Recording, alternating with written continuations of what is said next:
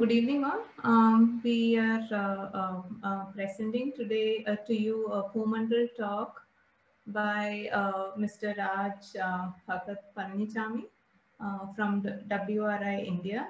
Today is going to talk about data-driven decision-making and application of GIS and uh, remote sensing in governance and planning. So welcome to IEEE GRSS Bangalore section event. Uh, we would like to um, show you a clip on uh, what uh, GRSS is all about. So this is just a one minute introduction clip. G R is S is the IEEE Geoscience and Remote Sensing Society.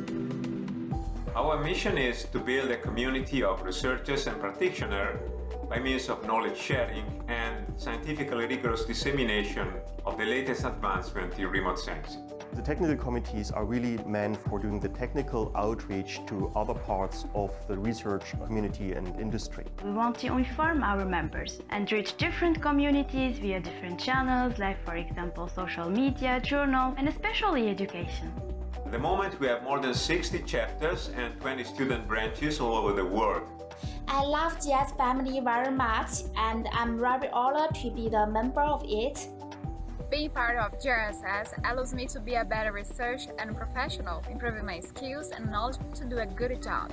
Come and be part of this great family. Ciao! So that's an introduction to IEEE GRSS, which is the Geoscience and Remote Sensing Society. Uh, we are uh, uh, we are quite uh, looking forward to uh, more professionals and students joining the community uh, and we enable professional development in the areas of geoscience and GIS, remote sensing, related areas. Um, so welcome to you all. Um, and for today's talk, I would like to um, I would like to um, ask uh, the slate member, uh, uh, Gurudatta, to introduce the speaker of the day. Uh, we are grateful to all of you for editing the talk today. Please feel free to use the Q&A and chat uh, mm, to ask questions as the talk progresses. We can take the questions at the end of the talk. We're happy to have you here. Thank you. Good evening, all. I believe you're all doing well and staying safe in this moment of pandemic situation. A brief introduction about today's Bhumandal talk speaker. Mr. Raj Bhagat Palanichamy is a senior manager in the Sustainable Cities program of World Resource Institute, WRI India. He is a postgraduate from Indian Institute of Remote Sensing, ISRO, and the University of Twente, the Netherlands, where his research was specialized in Earth observation and geoinformatics. Mr. Raj holds a graduate degree in civil engineering from St. Xavier's Catholic College of Engineering, Anna University, Chennai, Mr. Raj has been supporting mul multiple projects of WRI India in the fields of urban development, water resources, and transport since 2015. In today's talk, Mr. Raj focuses on the concept of data-driven decision-making and how GIS and remote sensing are being applied and adopted by WRI India's geoanalytics team. A bit of housekeeping before we get started. Kindly remain on mute throughout the webinar if you have questions, please post them in the Q&A window. Questions will be answered towards the end of the webinar. Thank you. Over to you, Mr. Raj. Hi, thank you. Thank you for inviting me here. Thank you for the wonderful introduction as well. Uh, thank you for inviting me here and uh, it's a lovely day and I want to talk about this data-driven decision making. Um, so basically what it, uh, so I'll just explain how the slide deck is uh, arranged. Um, I'll just talk about uh, what we do in WRI India with uh, respect to GIS remote sensing roughly. Um, and uh, we call that a team, uh, we call that geoanalytics team. Um, I'll talk about that. And after that, uh, I'll talk about uh, our vision, what we are trying to create and some examples. And before going into the examples, I'll just talk about how to design, you know, an, a study or a research that is focusing on GIS and research that will be useful for uh, decision making process and how it happens, etc. Um, so, uh, so as uh, it was a lovely introduction. I just want to keep this slide because there is this one bottom line like it says 21 projects in the above themes of urban development, water resources, and transport and environment, right? So this is this is the most critical part of my profile. That's what I love. Uh, the thing is, uh, uh, uh you you would be uh, gathering more knowledge once you have a lot of interaction with different different type of people and uh, I had the opportunity to work in lots of projects and right now itself I have 21 projects. So uh, uh, roughly every day I have calls with different people from different uh, backgrounds and that's where this uh, uh, entire idea happens about this data driven decision making. So in our teams actually in WRI India we have mix of planners, economists, we have people like me from GIS remote sensing background, you have programmers, um, so everyone will be there and we bring that conversation and we try to build that uh, uh narrative around, uh, uh, you know, how to make things better, right? So that's where it is coming from and that's my privilege and I really love working in that. That's what I think is the biggest advantage for me. right now itself, I have a lot of projects and in the past I had the opportunity to work with a lot of folks that way. So uh, folks, if you're uh, not aware of what WRI India is and what we do is, uh, WRI India is actually a research organization, a research to uh, action organization actually. So what we do is uh, we do uh, high-end research and we provide suggestions to the government um, or community um, on how to make things better, how to make your livelihood better. That is the whole idea about it.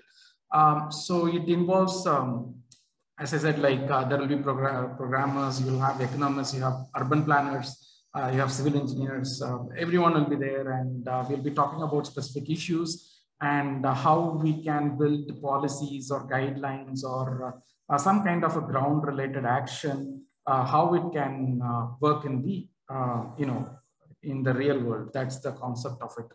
Um, so WRI India has uh, offices in multiple countries and uh, sorry, WRI has an office in multiple countries. WRI India is the uh, sister organization of it.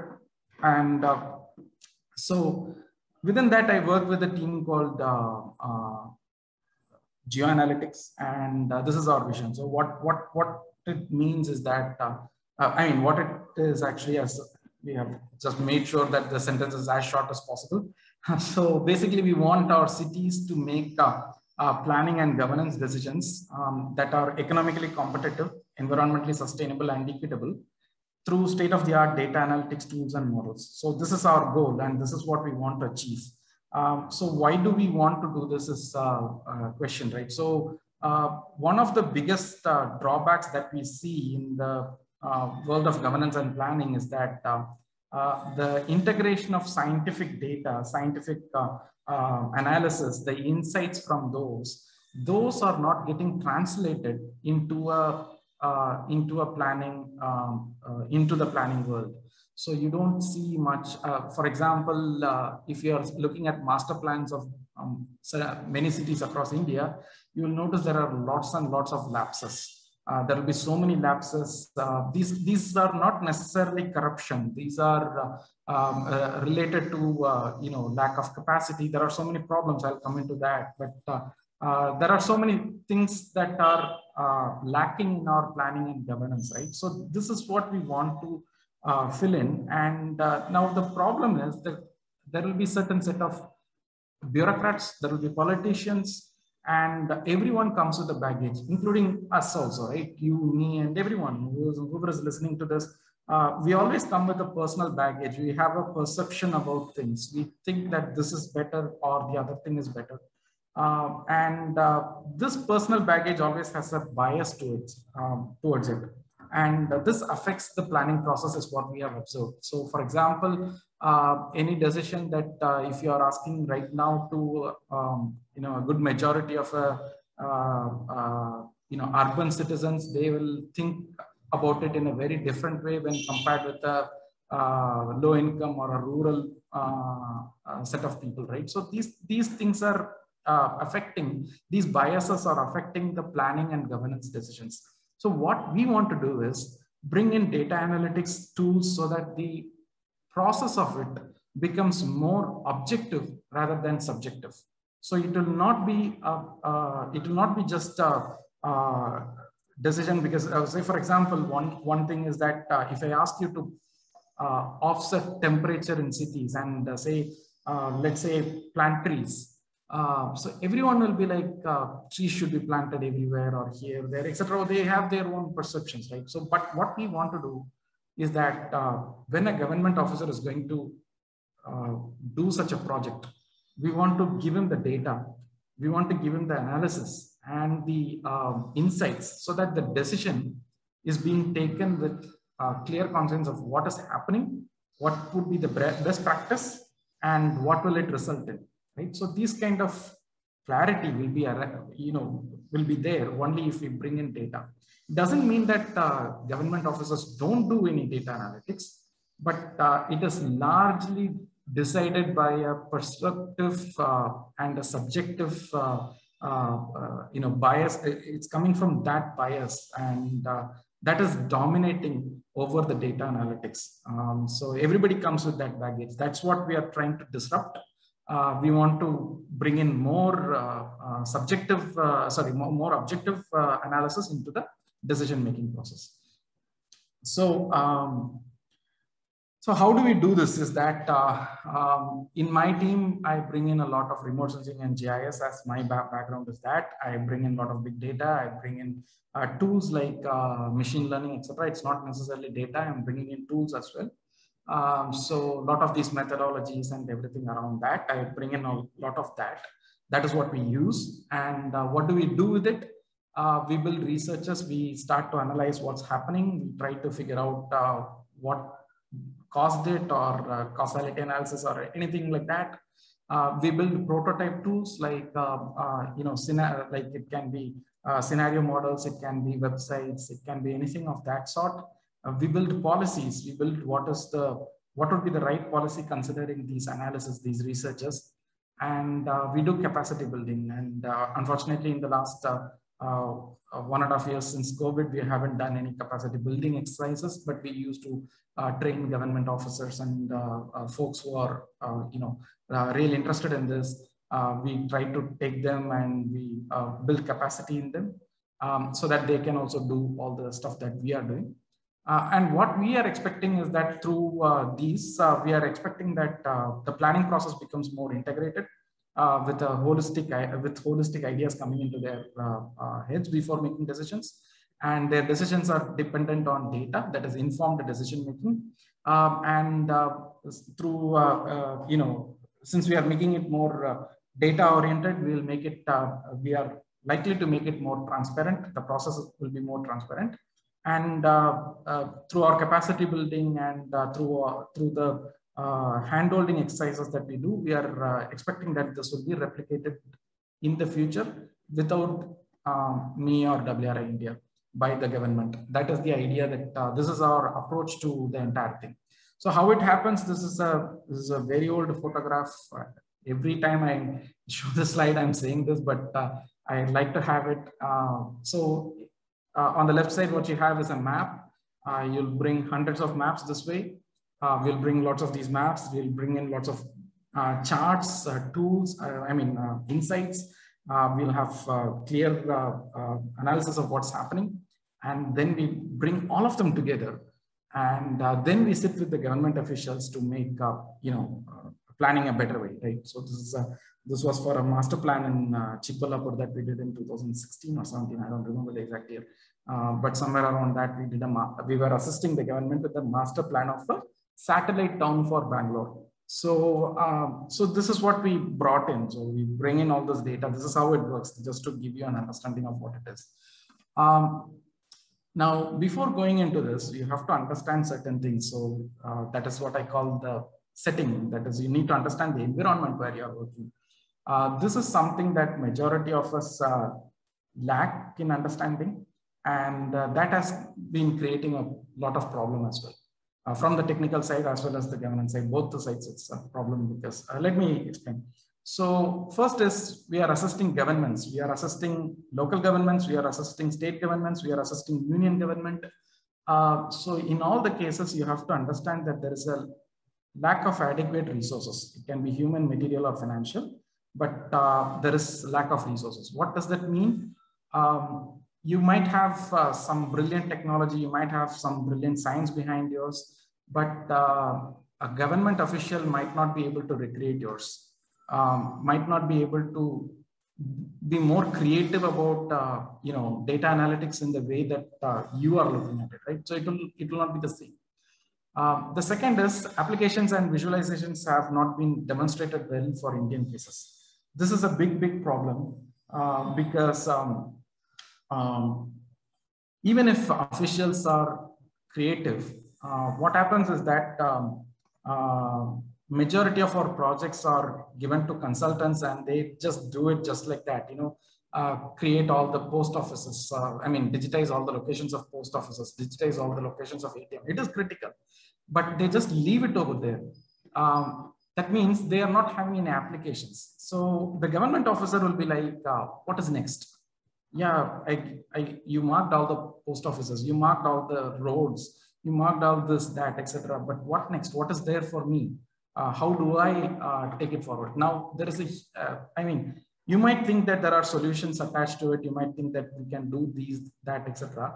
But in reality, it is not working in that way. And a lot of these data uh, have been created and uh, they are just sitting in silos because they are not used properly. And uh, now an, another officer, when he sees that, uh, the immediate decision they say is like, you know, the previous guy did, we didn't have anything coming out of it. So I don't think we'll pursue it. This is the kind of uh, mentality that is there. So this is what we need to break.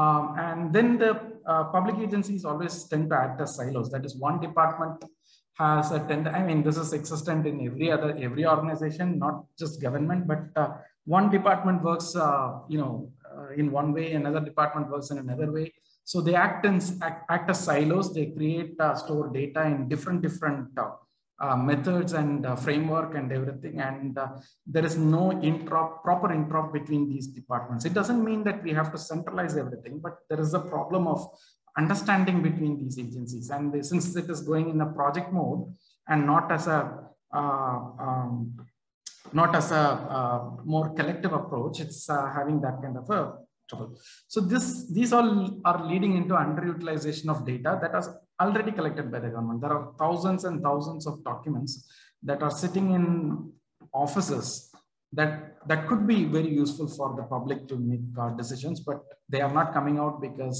of the previous issues. So now along with it, there are two other issues where the, this is slightly you can say corrupt or whatever it is, but uh, there is a perception towards power right there. You know, uh, once you get the data, you don't share it. Um, so uh, me not sharing or you not sharing is a different thing, but government not sharing what, what is created with tax money is a different problem. Um, now that leads to, um, I mean, that, that is rooted in different uh, things. That is uh, primarily perception power, but also fear of exposure of errors, malpractice, or any other form of rational criticism even. They don't want that to happen. Let's say, for example, a piping network. Very few cities have opened that data. Uh, why? Because uh, they don't want to. They don't want public to act. Uh, you know, in a. It will make people. These are sensitive, right? People. People can get angry. And even if the pipeline data is opened, the flow amount in the pipeline will not be opened. That kind of things always exist. Um, so this is the setting. I'm just giving you a context of the setting that we are working in. Uh, we have to understand that we have to understand and we have to make sure that uh, we address all these issues and uh, uh you know overcome these issues uh, so that we can have a proper decision making process. So a lot of it from my view also, these are all coming from my experiences of working, uh, not through, you know, um, documented process, I'll say, but these are, this is the setting. We have to understand it. That's it. Um, before going into the research stuff. Uh, so this means you need to create your researches in a specific manner that uh, would be more useful, right? So uh, the thing is, um, as I as I earlier pointed out, uh, government officers are worried that you're not tuning your research to application uh, you are having problems related to resources um, and you are having uh, problems in data sharing and uh, so many stuff. Right. So with that, we have to go into the, uh, you know, with this setting, we have to understand how to design the research uh, in a way so that it can be taken up uh, easily in the future. That is what I try to do. Uh, so in such a thing, there are four concepts that I always try to focus on. First is purpose, second is science, third is technology, and fourth is art. Uh, now, um, the fourth part, art is something that uh, I despised when I was studying a long time ago, but uh, uh, I thought art is not required. But trust me, that is the most important aspect of all of them. Uh, I mean, not most, but uh, maybe purpose is the most, but art immediately follows it. If you want to have an applicable research, you need to be artistic about the data. You have to be artistic about uh, the way you disseminate data, and only then it can be achieved. So anyway, I'll go into the details of it, how and what these mean. Now, the first one is purpose. Um, now, this is where many folks get it wrong and uh, where uh, there is a lot of error and everything. Uh, people don't understand why they are doing what they are doing. Um, and they just started a research because it's a cool research or something like that. They are interested in it. Um, yeah, fine, but uh, what does it serve, right? That, that, that's the critical question that the government officer is asking you, right? He's not looking at uh, random forest model. He's not looking at uh, Bayesian classifier or whatever it is. They are looking at what answers are you going to give it to me, right? So for that, you need to understand the purpose. Purpose has to be very clearly defined before you step into the research, very clearly defined. You have to, uh, I hope my connection is stable just got a message saying that it's unstable. But anyway, uh, there is a huge problem um, of people not understanding this and they create uh, researchers without the head. And uh, this is where it becomes critical. Now, what is purpose? Um, when you are doing an analysis, you need to know what you're going to do, why you're going to do this, whom are you going to address. Those kind of things you need to list it down very clearly. And uh, you have to connect the problem and data very clearly. Now, what does that mean? Is that you are not going to go behind technology. You are not, uh, don't say that, uh, you know, I have an amazing data. Now I have to find some way to use it. No. I mean, that can, you can have an interest that way. I'm not going to say that uh, completely no to it, but, uh, but you have to start from the other way around. I have a problem of flooding in Mumbai. I have a problem of uh, heat related issues in, uh, uh, in construction in Delhi. I have a problem related to wetland destruction in Chennai. Now, how will data answer that? Now, this is how you have to go back. Uh, instead of starting from the satellite image that you have, or instead of starting from the tool that you have, you have to start from the problem. Um, so I'll just give it to you for an example. Uh, one problem, as I said, was heat. Um, now, I wanted to understand uh, heat and I wanted to connect uh, uh, heat and uh, other parameters in the city. And I want so that I can tell the government where they have to intervene, etc. So first is I understood the problem very clearly that I need to know what is causing heat, what are the factors that are influencing it, and the next is the solution towards it, right? That that that path has been very well defined. Now, for example, this map was created with Landsat images. Um, so I have the temperatures and in the left side, I have overlaid the temperatures, uh, surface temperatures on that of the uh, uh, building footprint. Um, so in the left side, what you can see that there are, you know, hotspots. These are primarily because of neighborhoods that are not having any tree-lined avenues. These are neighborhoods that are having too much of concrete or tar and those kind of things are there. Um, now, this is having a direct health impact on people. This is the problem that I'm going to address, right? So the problem is what uh, started this. Second is now I have identified the, uh, you know, um, what is the scale of the problem? That is the second step. Now, the next is once I have addressed the scale, I have to figure out how it is matching with other factors. And uh, we have to figure out what are the factors that are influencing it. So this is one. In Mumbai, we did this one. We said that this is vegetation. Vegetation is uh, sparse in certain places, so heat can build up.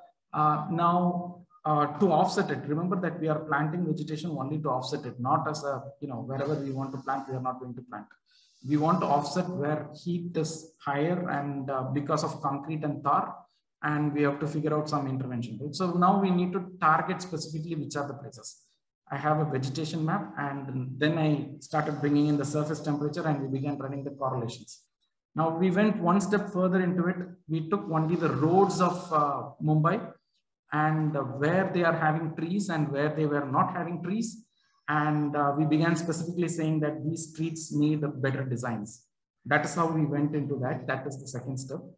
Um, third is again, again associating with different parameters. For example, in this case, I was associating land surface temperature with uh, roofing material and we wanted to intervene like um, uh, which are the wards in Mumbai that are having high amount of X material of roof uh, and the Y material of roof, we began analyzing it. And we began, like one of the bigger problems that we were seeing is that metal and asbestos, these, these were playing a big role. And uh, most of these were in the slums and the low income neighborhoods. And we wanted to intervene that and this leads to solution. Now I am the uh, person who connects the data and the problem.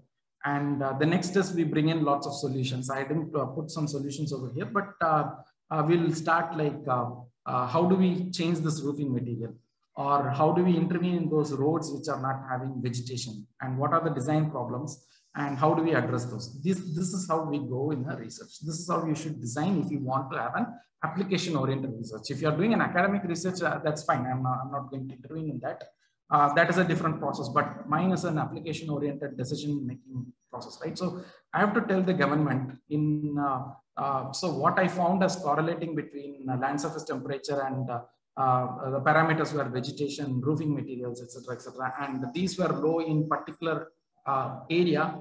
These are the areas where you need the first intervention to happen, and there are interventions that are done globally, and those, these are the interventions, and you can try it out.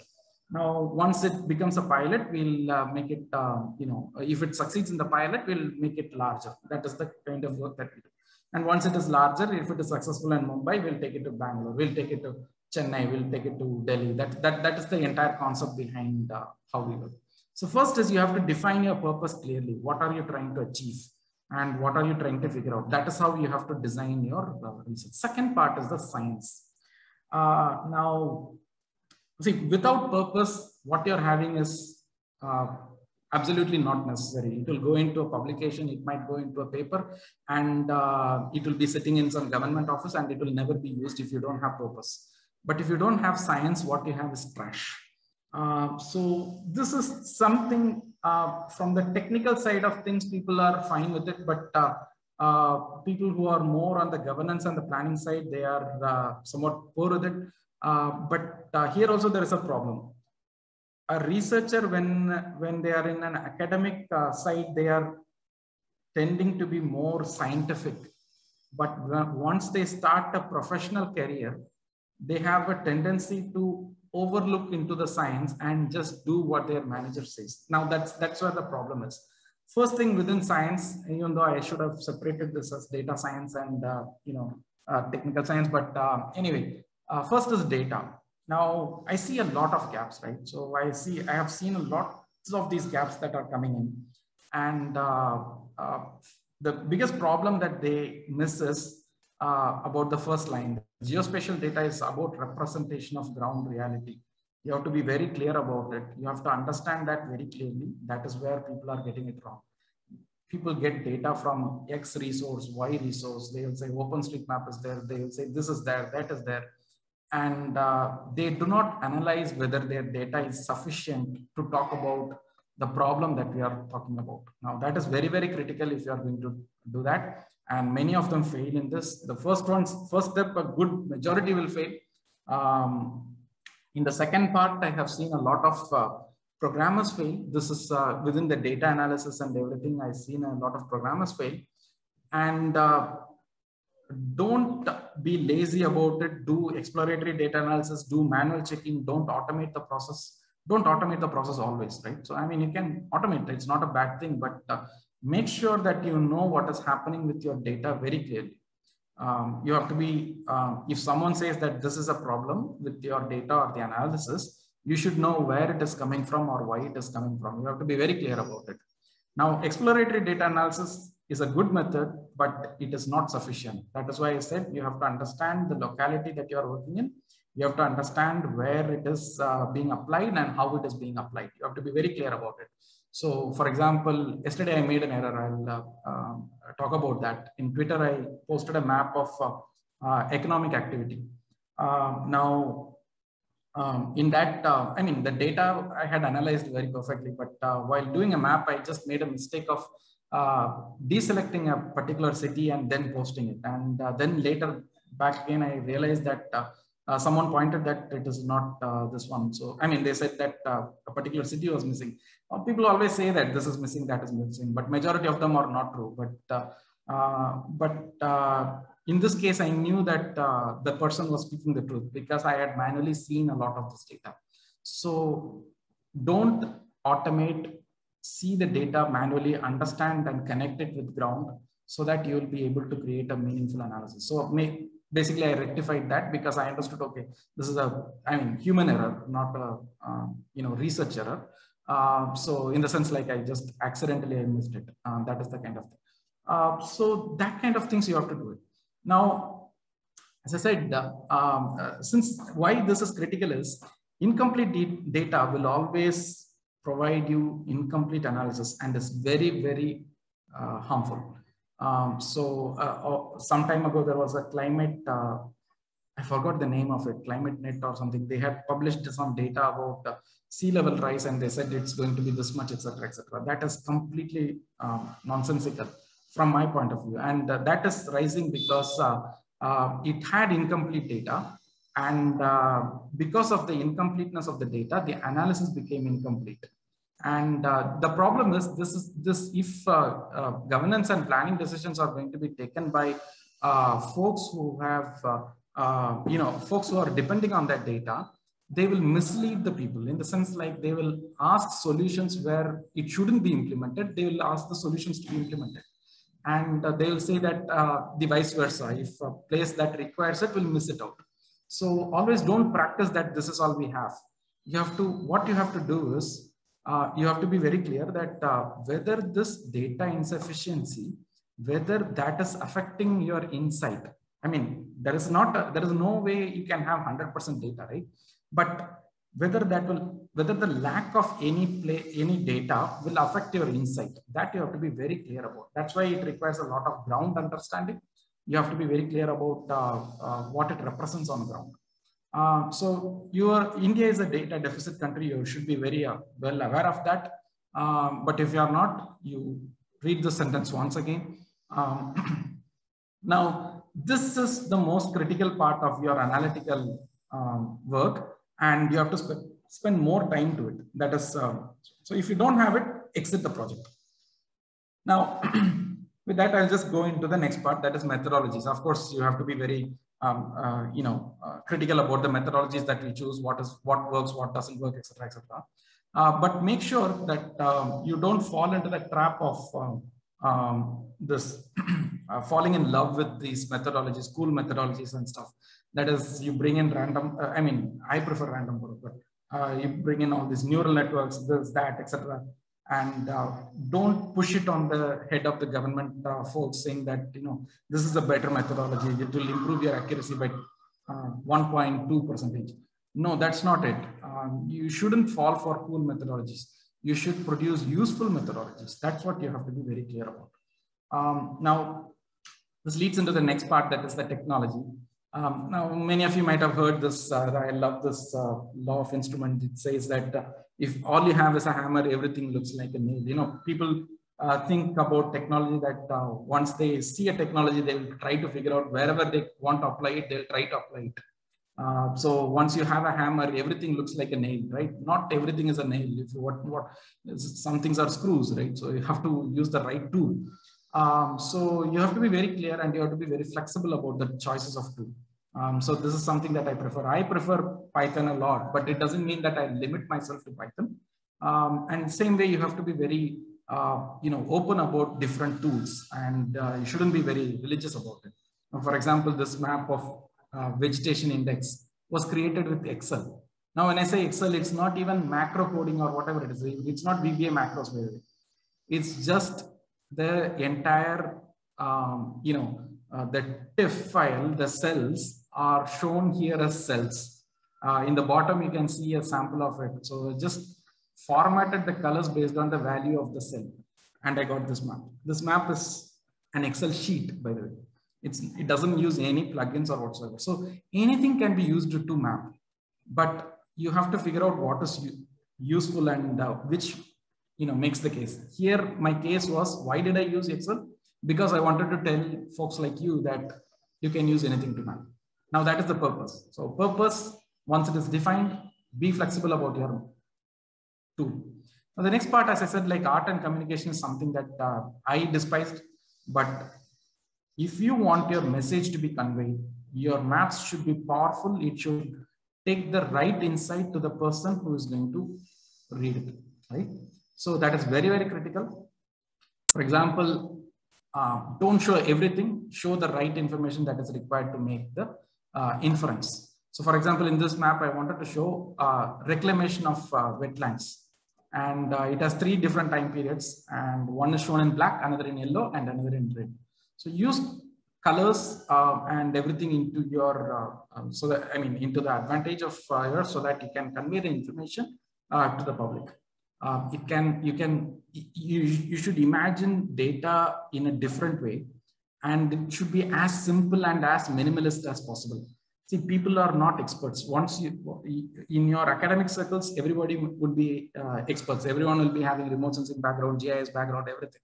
They will understand moment the same map but in a generic uh, audience you will not have that many experts. So you have to fine tune your maps so that the messages the stories that you want to say get conveyed to the public. In this one, I wanted to show the elevation profile of the railway. If I had used Google Earth and I marked it over there, people would be like, okay, this is so much messy or whatsoever. So I simplified it and um, I have been minimalist about it. So convey that information. So here, for example, the story you want to say should be clear from the map. And uh, here I wanted to say the urban area is in black and the municipal corporation is in red most of the urban area is around the river. And uh, what I wanted to say then is that the municipal corporation doesn't cover the entire urban area. So as simple, don't add too much of information, just convey this information so that it becomes uh, right, right? So that, that is the kind of, um, so use, of, I mean, these are complex visualizations. So, I mean, this is make use of different types of ways to visualize your data. Um, so um, sometimes no data is also a you know, form of a story. I wanted to tell this one because I really love this one, by the way.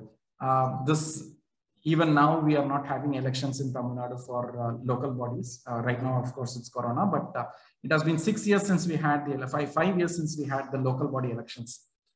I wanted to convey this political message to my audience. So what I did, I created a map saying that these are the places of urban local bodies which have elected mayors and councillors. And the map doesn't show anything. And uh, that's how the story gets conveyed. So this you have to be very clear. Why I'm saying is a government officer, a politician, a newspaper journalist, or general audience, they don't understand a lot of the technical terms around your maps. So you have to take the right information that you want to have, that you want to convey, and con convert it into a method so that it becomes easily understandable uh, to the general audience. Now I'll show some sample applications. Now all these applications uh, will have these three components. The first is count, second is analyze, third is build scenarios. Um, so what does that mean? If you have a problem, understand what is the problem. Uh, second is uh, analyze it, that is what is causing the problem. Third is uh, build scenarios around it, that is if you do XX intervention, then what will happen? So that way you can connect it. That's how we go about it. So of course, you know how remote sensing can be used for land use land cover classification. So this one shows land use land cover. I mean, how water bodies in Bangalore are changing. Now this is how you count it. You are trying to figure out what is the issue, where is the issue, how much is the issue. That we have figured out. That's fine. Um, same way you can do it for built up area. Uh, right? So you can classify images, you can do any ML or any AI algorithm that learns automatically every time and uh, figures out what is the uh, uh, built up area. And uh, now you have that, you are counting the problem. That is, you are having this much uh, urbanization happening in this, this place. Now the question that the government officer now will be having is what next? And then uh, we say that, you know, uh, it's not just Delhi, we have counted for the entire, um, you know, country. That's also fine. I mean, they understand, okay, you have done a proper research. Now, that's where we bring in more researchers and we try to be as innovative as possible in these aspects. Now, um, see, uh, in a planning process, in a, if you want to do something for your city, you have to understand where is the city growing, in the, how did it grow, grow in the past, where will it grow in the future, and what are the factors that are affecting its growth. Now, this uh, slide over here, this analysis that we did was to understand what is driving your growth. So we classified there are, you know, built up growth is happening in five formats in our cities. First one is sprawl and infill. That is your city is just growing in its neighborhood just because it's expanding. And the second is strategic projects. Uh, that is SEZs or ports or something like that is being built and uh, suddenly people are going around it. And then a highway is there, then that is a corridor led growth, that is the third. And fourth is neighboring towns. That is you have a big city and the neighboring town grows because of that economic activity. And fifth is that there will be sample, uh, some uh, random growth. So now I showed you how it is appearing over here. You can understand what are the samples right now. And uh, now these are the samples. Now, what are the parameters that are influencing it? Uh, so we studied each and every parameter that is behind all these parameters, these um, variables. So for example, distance from the city, core of the city, old city, or distances from the road, uh, about the existence of previous projects and what is the uh, density of built up in the previous years and what is the current density, what will be the, what is the intensity in the neighborhood, um, etc. etc. So these are the parameters we built. Now you have parameters, you have samples. So we built a machine learning model. We had around 80 percentage accuracy for this or 83 percentage or something around that. I don't remember the exact number, but we did that analysis and we figured out what is driving growth in each of these cities. And uh, as you can notice, like in some cities, uh, it's uh, just expansion. Uh, in some other cities, it's uh, neighboring towns growing larger.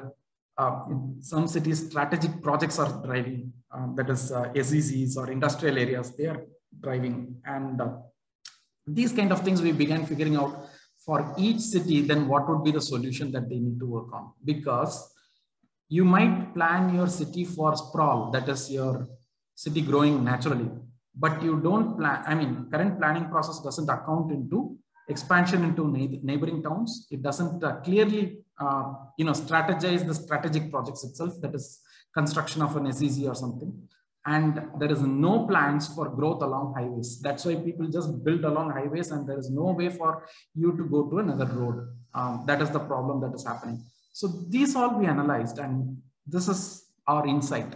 We were saying that these are affecting it and you need to have a planning strategy for these. Now the government officers are like, okay, fine. Uh, now I understand the problem. Uh, now uh, probably these are the areas that I need to work on. But which is the specific place that you want to work on? So we want to predict future. So we knew what were the factors that are affecting growth and we began building scenarios out of it. So we began creating, this is business as usual scenario, uh, but we began creating so many scenarios around how growth will happen. And uh, from 2019, this is for Delhi, by the way, uh, how urbanization was there in 2019 and where we are seeing growth in 2030 and 50 if it is business as usual. Now we also be provided, um, you know, uh, solutions as scenarios where it's like you have an SEZ over here on a, or a new road being constructed or an RRTS that is a transit uh, network if it is here, then what are the parameters? So we did a huge machine learning algorithm uh, studying how these patterns affected in the past and we began producing it in the future. Um, same way, we can go into another problem statement. So one problem statement is that flooding happening in cities and um, not just cities, also in the riverine conditions. So here is one problem that uh, built up is one of the causality behind it. So we began going into that and we wanted to figure out where are these critical infrastructure that is getting affected uh, at the time of floods. You have satellite images from um, radar images, you have uh, uh, you have Google Maps that are providing a lot of this information. We wanted to collate them and uh, then we wanted to build scenarios as well. So what we did was we began uh, creating these models of how much water will be flowing and how much water, I mean, which are the places that are likely to be affected, etc., etc. So we began doing that as well. So this is scenario building. These are the steps towards use. And then finally, once you have that, you provide more insights into the government so that they can do job, their jobs better. So we began telling them where are the floodplains and which are the ones that are affected and how much of it is the statistics behind it and where it requires intervention. All these red spots are the ones that require interventions in Bangalore, by the way. And uh, you can see them uh, from newspaper clippings on certain spots. I just put some three spots over here, uh, how they have been affected and how our data analytics is bringing the problem right out. And uh, we also began providing them solutions, but uh, then there was government change and everything that it's lost in politics most of the time, but uh, those kind of things. So similarly, we began building a lot of these terrain models and we began doing a lot of, right now, actually, I, I, unfortunately, I don't have, I, I can't show it to you right now. I can't actually, but we have created some cool graphics for Mumbai flooding and uh, we have created uh, places where it is going to affect and uh, scenarios we are building it unfortunately because of covid and everything I, I, wasn't able to collect some ground data that is required to validate the model so that finally i can hand it, hand it over to the government so in saying that you know you can use this to understand where it will flood as well as uh, if you build a uh, say a new stormwater drain, which are the places that will be affected. For example, these are the insights that we are providing, like uh, uh, which are stagnation in road, what is getting affected, what is not getting affected, and uh, how, what are the uh, issues behind it. Um, same way, if you apply it for transport sector, the same path we go from going from analysis till the scenario building. We connect the, all the dot, dots, and my job is that. And this is, for example, we had the points of all the establishments in Bangalore. We had the uh, population spread modeled out. And uh, then based on that, we began finding out who are the people who are having access to formal jobs more and uh, through public transport. We wanted to make public transport much better. Um, so we wanted to create this one and then we uh, went ahead and uh, created scenarios like if you introduce new bus routes, which are the places that are going to be affected. Now we can see that this was near my home in Bangalore. Um, so not necessarily that one place would be the, I mean, place where the bus run is, buses running is the only one which is getting positive impact, but there will be lots of places which are getting positive impact because you are not going to crowd in another place, right? So that kind of things and all will be happening. So we wanted to produce all those results and uh, we began giving solutions in these ways.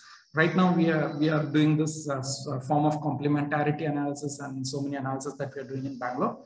Um, we are assisting the metro rail, we are assisting the Bangalore, uh, you know, bus transport, BMTC. Uh, and with so many of these solutions on how to.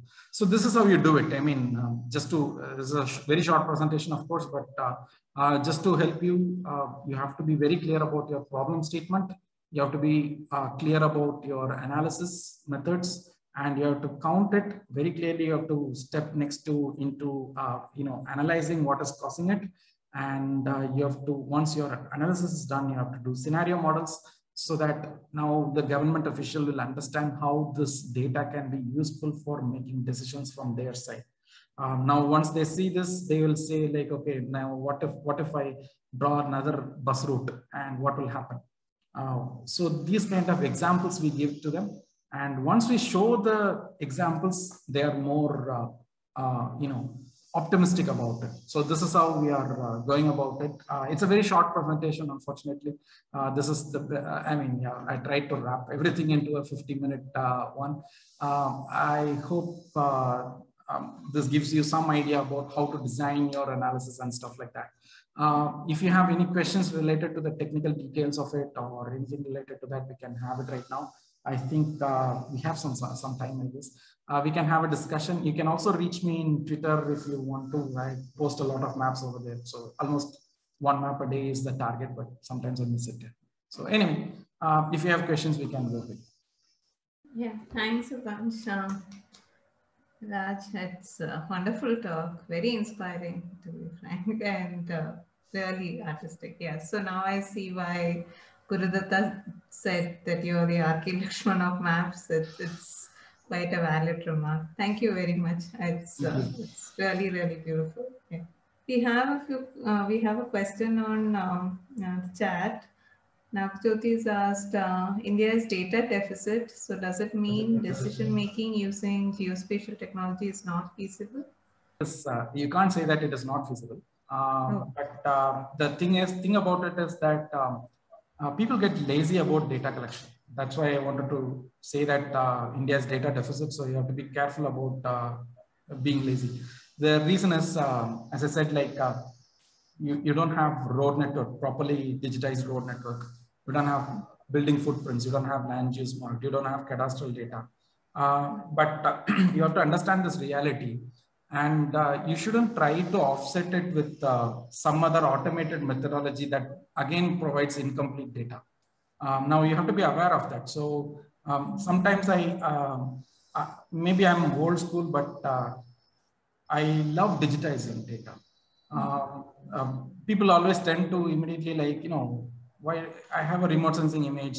Why don't I identify all the slums in India? Why don't I use machine learning method to uh, digitize all the roads? Of course, I mean, uh, you have some point about time and everything, but uh, to be fruitful, uh, it has always worked when it uh, when you digitize it. Um, so, for example, that um, so last four years I sat almost, I mean, not every day, but I sat almost every day to digitize all the village boundaries in India. So I didn't go through any of these automated methodologies. I didn't. So uh, the, the, the, the point I wanted to make is that you shouldn't be lazy about data collection. India is a data deficit country. You should understand that, and uh, uh, any any uh, data that we want to use will be incomplete, and uh, incomplete uh, data will produce incomplete analysis. So just a just a warning around that. Right. So It's do difficult. you have uh, regular sources of data that you um, that I mean, of course, data has to come from uh, creditable, credible sources, right, and verifiable and that sort of thing. So, is, uh, is there a set of uh, you know sources that you go to regularly? Um, and you had given credits for in all of your maps, so maybe you can uh, Yeah. list out some of the sources you take. So the so there is no single data source that I trust honestly. Mhm. Uh, that is the that is the concept about it. Um, there is nothing that could be um, trusted blindly. Whatever data sources, I I verify it manually every single time. I whatever whoever is it. Uh, it could be NRC, it could be. Uh, uh, it doesn't matter whether it is coming from NIC, etc., etc. I start with the known locations first, and um, say for example, uh, NIC had the school GIS uh, or something like that. There is a website where they disseminate all the locations of schools. Um, I mean, it's not downloadable right now, but uh, what I did was I, in my hometown, I verified almost uh, all the schools that you. Um, and manually I checked it, like what is the gap that is possible and uh, what kind of gaps are possible. And uh, so uh, starting from my hometown and then the geographies I knew, like Bangalore or um, Chennai, Mumbai and uh, Delhi, these are geographies that I know very well. Uh, so I checked them, and after that, I checked for uh, other, um, um, you know, uh, problematic geographies. That is, uh, um, it, these can be urban areas, but what what about a northeastern state? Is it complete? Uh, can we verify that with Google Maps? Can we verify that with OpenStreetMap, etc., etc.? Once it reach, I mean, once I reach a certain amount of confidence about it, I might use it. Um, so there is no, nothing that can be trusted, and uh, every data source has to be. I mean, you need to know all the data sources. I'm. You shouldn't be controlled as well. Like uh, you should avoid these data sources, etc. But uh, take everything and uh, use the best that can solve the problem, not the. So. Um, So, Uh, so that asked a question on could you convince the authority to use the master plan you prepare? Yes, that that uh, image actually shows the planners from the government side actually. Um, so the, the, actually, it was uh, to be honest, it was not a very um, something that we really wanted to do, uh, but uh, they were really enthusiastic about it. They want to create that master plan with our uh, so- and uh, there is always a set of compromises that come in. That is uh, one thing that I didn't talk about. Uh, there is always a set of compromises, right? So um, I don't want to discourage folks, but um, uh, there will be a certain set of things that you want and certain set of things that they want to do for different reasons. And uh, of course, I can't talk about but uh, anyway, that, that would be there. But uh, at least the, for example, one policy that we intervened was uh, in their master plan, at least. Um, they had, they are supposed to allot a certain percentage of it to green areas. What they did was they put all of them into a single bucket in a one corner of the planning area. Uh, so what we did was uh, we produced one saying that this is not well spread out. And second is uh, you have to have a balanced method of well spread out the green area in a place where it requires more intervention. For example, places where there was higher amount of heat. Um, so you have to do that. So we gave a map that way and that was integrated. Uh, but then again, government changed, the MLA has switched party. Uh, there are so many things that are happening in the background that affects it. Uh, so at least in the plan, it went. It, at least in the plan, it went through, but uh, it didn't. I don't think it was executed on ground. It's. Um, I mean, that is another level of problem that we have. Uh, planning is one stage, and uh, execution on ground is another stage. So uh, that part, at least the data activities, we haven't. I'll say if we do 100 projects, we'll have 25 projects that uh, influence the planning and governance decision. And within that 25, you'll have a three or four where you'll have ground intervention. Um, so Chikballapur was was not uh, that, but I took a photograph. I, I don't take I don't like photo taking photographs, but that day I took photographs. That's why Chikballapur is always there in my slideshow. Um, yeah. Okay, so, so that has a few more uh, you know follow up uh, questions and comments. So the administrative boundaries of different sources are different. How do you handle that? And but plans are not executed in the ground. This is our experience. No, that's true. Actually, the plans are not executed on ground. Is true. That is where the effect of uh, the art makes it important.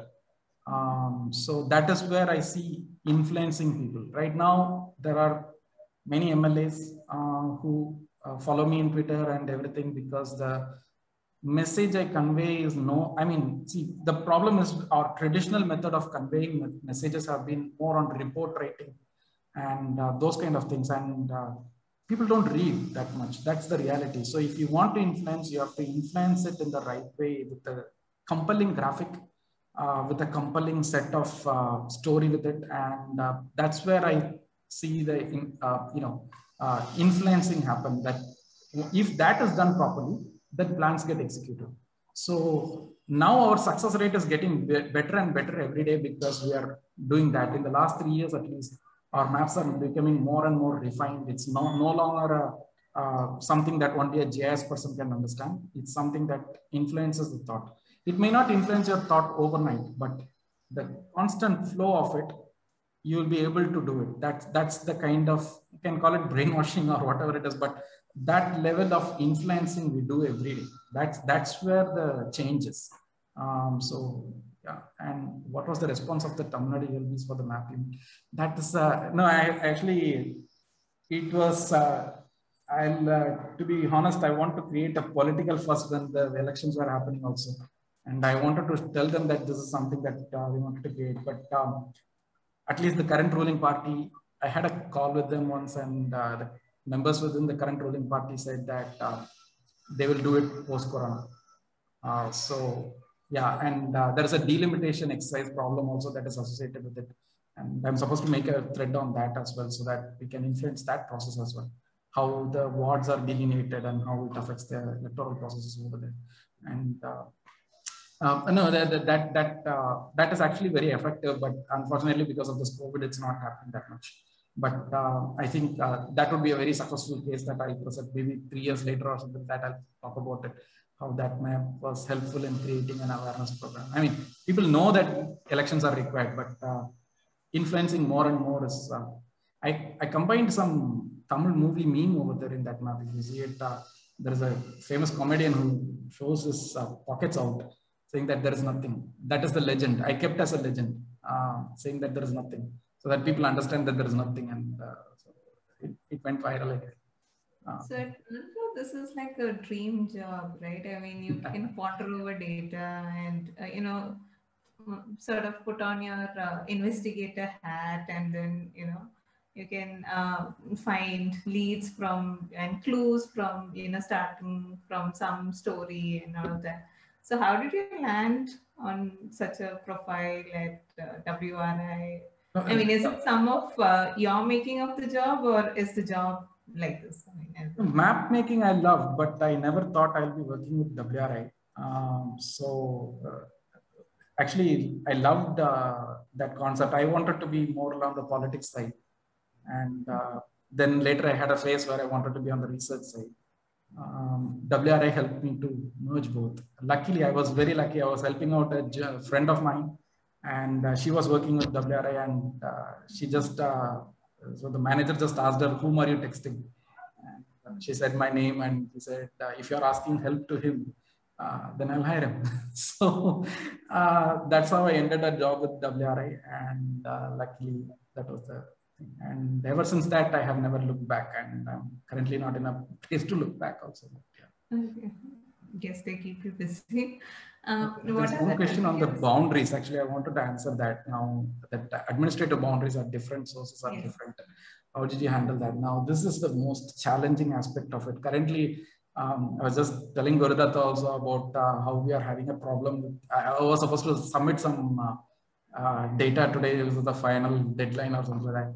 And um, that data, that analysis that we are doing is about economic geography of the national capital region. Uh, now, when we are talking about economic geography, we, I mean, it's not just the economics. We were looking at socio-economic, environmental parameters, everything in a single study we are trying to bring. It's like a massive study that we are compiling. And uh, at that point, it becomes very difficult because each source, as you mentioned, comes from a different. Uh, uh the thing is, uh, um, we began, as I said, like don't be religious about a single model for explanation of everything we are supposed to um, we are supposed to be as flexible as possible as well as very clear about the methodology and the science. As long as your study is not going to be affected you can be creative about it.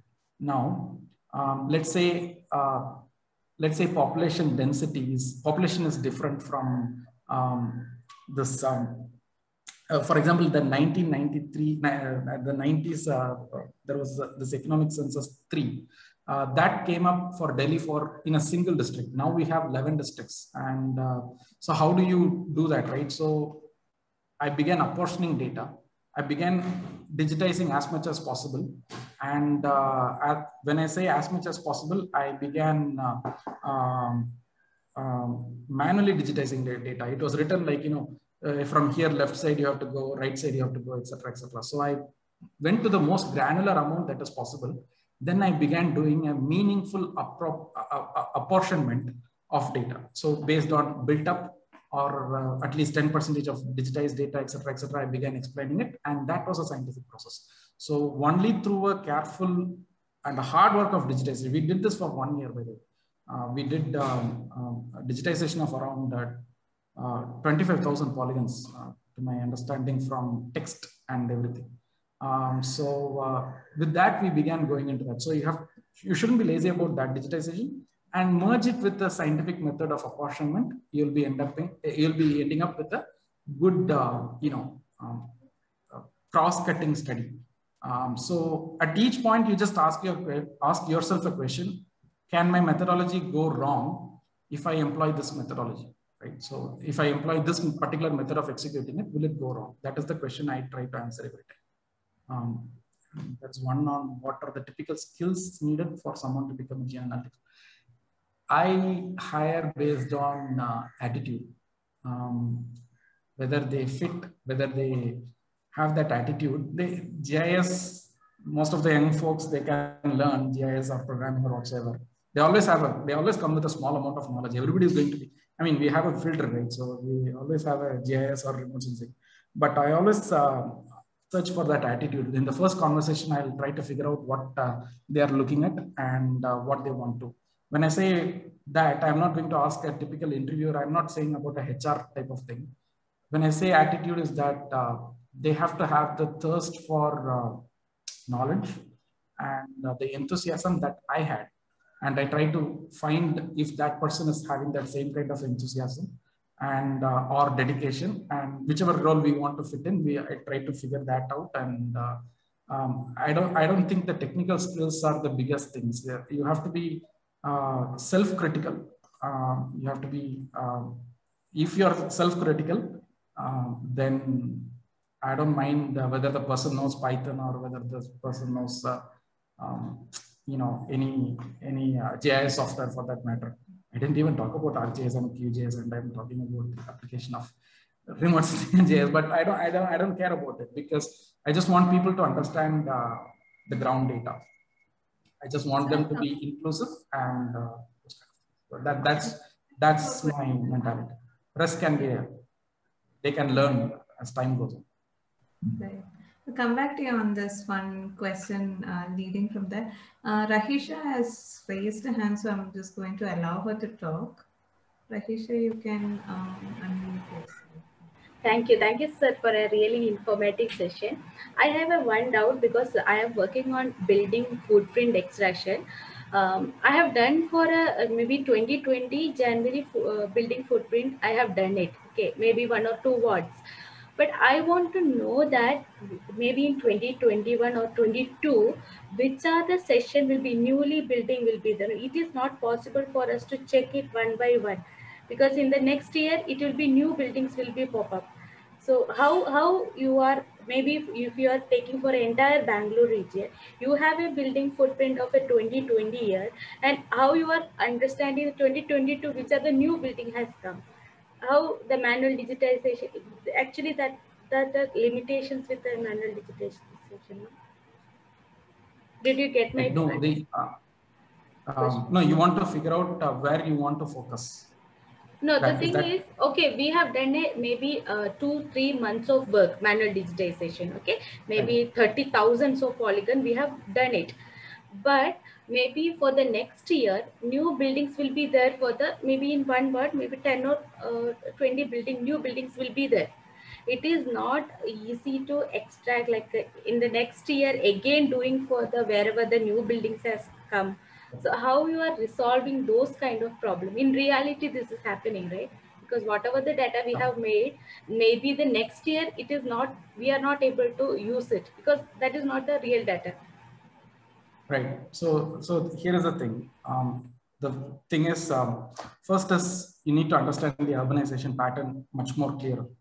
Uh, what is uh, driving and uh, where it is being driven and uh, your target also you have to be very clear about what what do you want to study that that will help you a lot i'll say why um, say for example i want to study about uh, metro stations in bangalore the bmrcl that it's coming up with the new um, line phase 2a and 2b which connects uh, silk board and airport silk board uh, via krpuram and airport um, so we want to have footprints for every year now it's the same problem as yours, some, somewhat similar problem as yours. We want to have that. Now, I already had a previous understanding of how urbanization is happening. Um, and from that, I began choosing the places. Now, how do I do that? First, you have to understand the typologies of development. Uh, there are certain typologies and uh, how development happens in different places, it changes. You don't have to study every place, um, but you have to be careful enough to include every type of development that is there.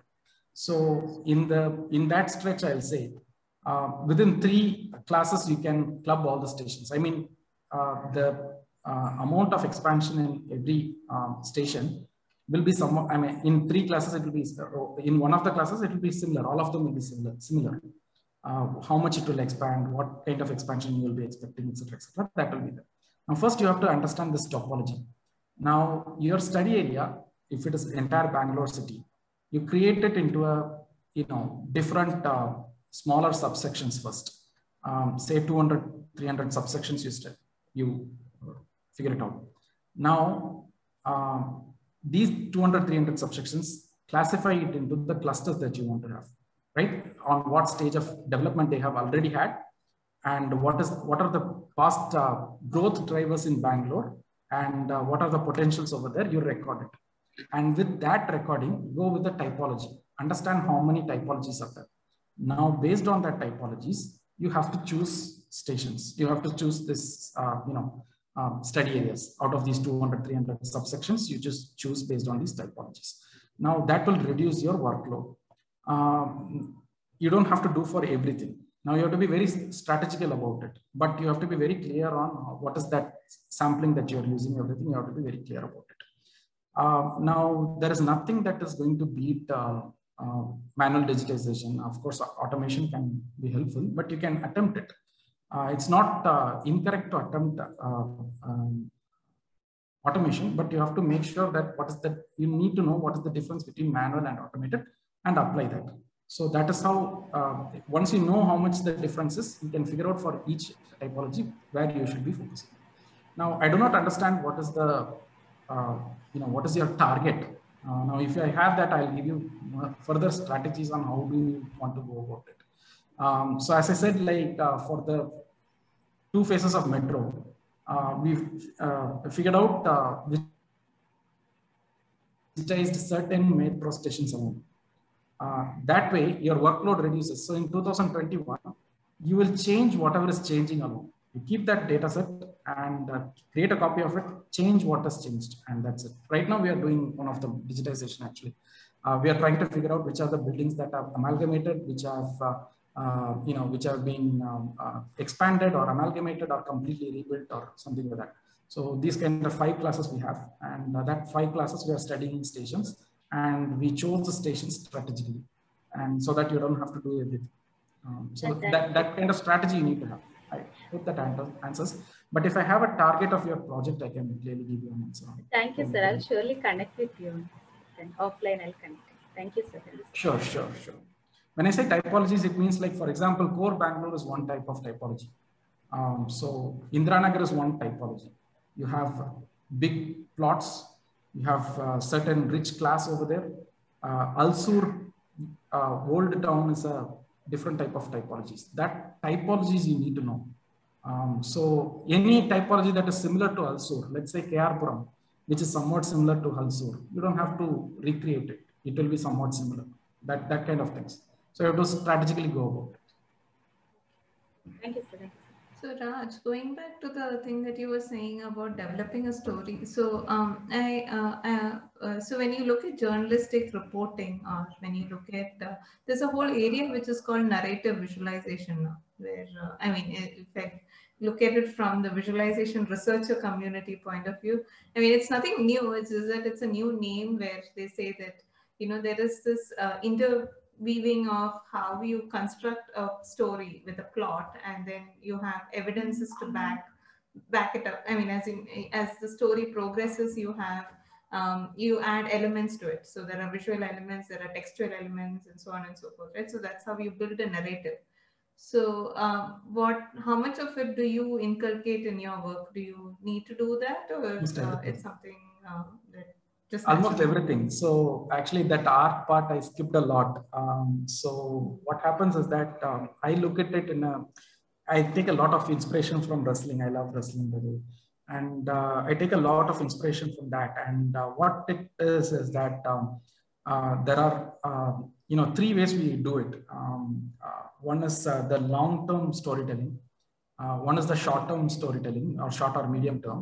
And one is the which I call the in-ring bout or in-ring thing. That is the inside the map, how do you tell the story? And how do you connect all of these together, right? Uh, when, when, I, when I say that, uh, I think I've uh, made around uh, some, I love doing it in social media, and particularly in Twitter, where I can post threads and uh, where you begin with a proper narrative. So I write it down like a storyline. I basically write it down and what should be the visualization. I have it, um, you know, picturized in my head, like uh, even for this presentation. So this is what I should say. This is the same thing. It has to be done in that manner. And uh, then we begin producing graphics around that. So we incorporate that almost every day. And, uh, um, and more and more as the story maps uh, concept that is viewing around it. Uh, which is um, you know which in which basically they are uh, saying that you can scroll through it and it will come you know the answers the slowly the evidence starts coming in etc etc uh, it is the same concept, but uh, we have to be a little bit more creative as well. Um, what I mean, uh, first is we have to sit from the end of the user and uh, we have to just ask them like whether this maps. So as I said, short-term story, storytelling, let, let, let, me clear, uh, clarify on that. What it means is that uh, the in-ring or the in-map storytelling is that what is that specific map going to tell you? that is first. And uh, then in a short-term storytelling, it will be a chain of maps, which will have a specific storyline. Let's say, for example, I want to talk about uh, uh, that same heat, uh, something like that. So first is heat. Second is I talk about vegetation uh, or maybe roofing material. Uh, third is vegetation. If I say third is vegetation. Fourth is if vegetation is there, then what about accessible parks? Uh, now, if parks are there, what are the fees for it? So you have that storyline. That is short-term storytelling for me. And then we have the long-term storytelling. So um, you have, uh, today I'm posting about uh, uh, heat. Tomorrow I'll be talking about flood. But both of the stories will have some kind of an interconnected uh, uh, concept. That is, you have missed one critical point. That is, you have your government is not looking at data that would be my overall story. So that kind of together, you will uh, figure it out saying that somebody is telling that uh, you should uh, do more of this GIS and everything. Somebody is telling that you can feel that. Um, but when it is done in an isolated manner, um, so the, the person who is going to see it, they will get influenced by it. They will not know the my agenda, right? So my agenda is like, uh, so the long-term storytelling will be there constantly I will be saying this. So some, some random time I'll bring another one, but it will have some hints of this one as well. So people who are following it will uh, slowly and steadily, they will tilt towards what I want to. That is the idea. So we look at these three levels of storytelling. And uh, then we have to build graphics. Of course, uh, I used to be horrible with the colors, by the way. I, my boss used to be like, uh, Raj, send me some colors. I'll change the colors and uh, some. But uh, post my experiences, I began learning like how to, what should be. And that part, that art, entire art part was something that I started working after WRI. Before that, I was pure researcher and tech guy, nothing. So going back to your uh, thing about uh, that, uh, you know, the main thing that you want uh, to look in a person who would work on such a uh, similar profile would be that you look at uh, story, I mean, the creative part, and the technology part is something that you can work on uh, uh, you know nowadays. So just to um, uh, take your view on that see when um, so i work in visualization as well. So uh, I, when i learned visualization in college in my university for my phd and all of that um, actually we had to build a lot of tools by ourselves because we had to know um, OpenGL and C++ and Java to do that. And in uh, since like 2011, um, you know, 2010s and 2020s, of course, you see that there are a lot more tools that are available, which sort of frees, uh, you know, uh, professionals from, you know, doing that kind of heavy duty programming and they can focus on the story part. So do you see a similar shift uh, in the, you know, the availability of tools allowing people to um, you know work more intensely with data because that that that allows them that freedom or they that allows them to uh, do this more uh, this sort of a more investigative activity right? Yeah exactly. So um, back uh, when i was studying also we used to i mean my biggest achievement which my staff really loved was i managed to automate uh, the production of uh, you know uh, ndvi for uh, for entire uh, South Asia for, I, I think, uh, I don't remember the exact time step, but 110, maybe, maybe not 110. I don't remember the exact number of time steps. For the entire country, I automated the process and it was considered as a major achievement back then. Uh, but considering that uh, things like Google Earth Engine, when it comes in and it becomes two lines and it just takes two lines. And uh, so that means you can be focusing more on the um, you know, parts that require our attention more rather than how do we do it. Um, so um, uh, the thing is, uh, uh, right now the composition of teams that we are looking at is one core programmer or something like that, maybe two core programmers at the max. But um, but uh, we prefer more on the storytelling, the people who engage a lot, uh, people who can write about it, document it. Uh, those kind of things who those kind of skills are something that and also it uh, the, the, the problem is that people don't uh, develop these skills in college um, uh, the most necessary skills i'll say um, see, uh, i do training sessions almost every wednesday for my colleagues So every Wednesday we used to have a Python session, GIS, QGIS, or map production session, something like that. We always have for every Wednesday, four o'clock. We used to have that. Um, so I can teach them how to do this, how to do that. They can just text me. I'll just tell them that you know there is a menu box over there, this, that, etc. But certain things it's difficult to get them trained, and it's a it's a thought process that has to come in a long period of time. Uh, that takes three, four years of learning at least. That I can't teach, right? So, uh, so also the way we do hiring also is like uh, um, right now. I had, I mean, till uh, last today's 18th, 15th till 15th we had eight interns. Um, so that is the path I prefer. Like I take a set of interns, train them, make them understand where we are working and how they have to work and uh, then uh, folks who are good enough, uh, they transform into the next process. So we hire people, we inspire people. That I think it's this sentence is from uh, the Office TV series. Uh, we don't we don't fire people, we hire people, we inspire people. Um, so that is the concept that I've been working on, um, so that they can redo what I. Uh, they can always learn programming. I never learned programming um, in a formal course. Um, maybe a distance course is there, but uh, nobody taught me that. Uh, but I learned everything by myself. So I think uh, the concept over there is that uh, people don't have to be a programmer to do data analytics. Uh, people have to have an understanding of data to, under, to do data analytics. Programming, they can always learn at any point of time.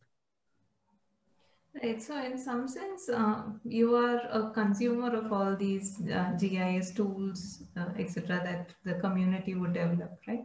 So, do you have a wish list on what you would like, you know, uh, the, the GRSS society or you know the professionals who work in these kind of areas? Because at the end of the day, all of us have to work together, right? So, yeah. do you have a wish list to tell? Uh, yeah the, for the software developers in particular if i if you are looking at it um, so i prefer a open source one i prefer qgis office makes me to use arcgis sometimes but uh, i prefer qgis um, the thing is uh, if uh, if if you want to do an application oriented data driven decision making if you want to address qgis is still something that is complex for a normal user for a journalist or for a decision maker it is still complex so we need a plugin in between. Maybe you shouldn't say even a plugin, maybe a wrapper that hides the entire QGIS and uh, keeps something that is useful, um, you know, that could be used for a quick analysis uh, for them. Um, they shouldn't be worried about uh, projection systems or this, that, etc., etc. You need a friendly interface. So you need that uh, light version. I'd say it's not exactly light version, but it's more, more like an some form of a simplified version that can be useful for the these folks.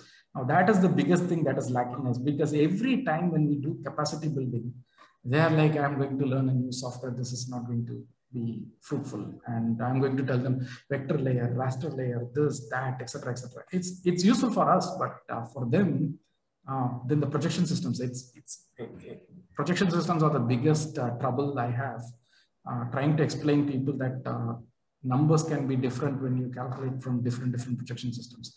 So they'll be asking like, uh, my area is showing 1,144. Why is their area showing uh, 1,092? And uh, then I have to tell them that uh, they did it in UTM WGS84. You did it in this, you know, LCC or something like that, Lambert conical. So you have to, you know, there are certain things that you need to understand, etc. So that uh, is a very difficult part. So we have to create a simplified mechanism for uh, us. And uh, that is something that is missing in the industry. I mean, it's, it's not just uh, the open source industry, it's lacking in the entire uh, commercial industry itself. I saw one uh, company by the name Earth Blox who have simplified the who have created a GUI for Google Earth Engine.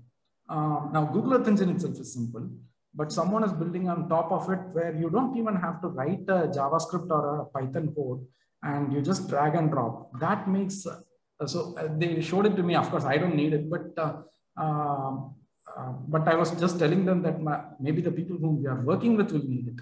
But that is a re actual requirement though. So those kind of bridging, uh, if uh, software developers, if they can do it, it will be nicer.